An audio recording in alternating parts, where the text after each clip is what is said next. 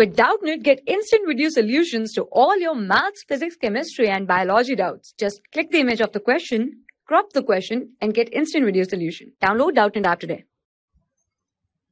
Hello everyone, so your question says that upon treatment with ammonical H2S solution, the metal ion precipitated as sulfide is. Okay, so how to approach this question? So group reagent given is your ammonical H2S solution. Okay, so group reagent is your given is your group reagent is your ammonical H2S. Ammonical H2S means H2S plus NH4OH or your in or you can just generally write this both NH4Cl. Okay. So this is your group reagent. And which group reagent? This is your third group reagent. Okay. So will only precipitate your, your third group cations.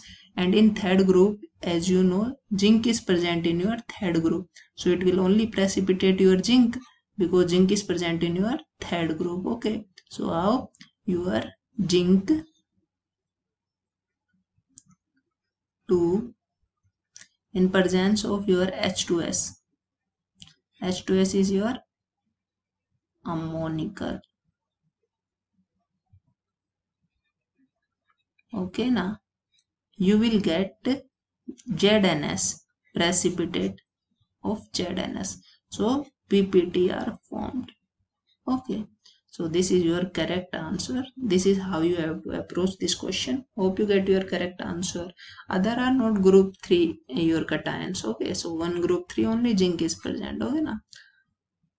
Hope you get your correct answer. Thank you. Bye bye For class 6 to 12, IIT JEE and NEET level. Trusted by more than 5 crore students. Download Doubtnut app today.